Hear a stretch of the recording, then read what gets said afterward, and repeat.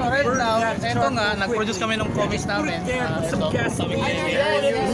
Atomic Cherry. So this is an anthology uh, of uh, Anthology ng mga ano namin, short stories namin, mga short comics namin. As you can see here.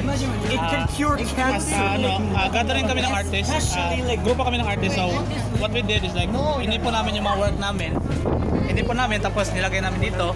And we decided to, you know, bring it out para in print. Meron, meron kaming page. Please check out our page.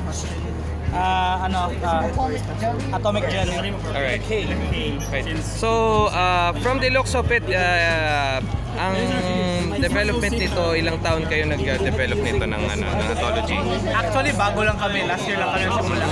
Uh, tinanong namin sumali kasi ano, matagal na kaming matagal na kaming you know, uh, uma-attend ng mga event. So, naisip namin, bakit hindi kami mag-ano ng sarili naming booth?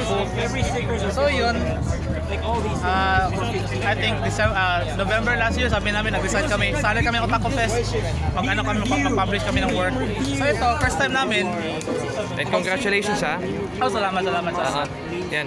So I think I think you're doing well naman sa mga prints no so far. Hopefully, hopefully. So far, may, nak- may ano. So, so far, may nabenta naman. mm Joe, how's the uh, situation naman ng uh, mga self-published titles dito sa Cebu? Uh, actually, uh, first time kasi namin mag-publish dun sa amin.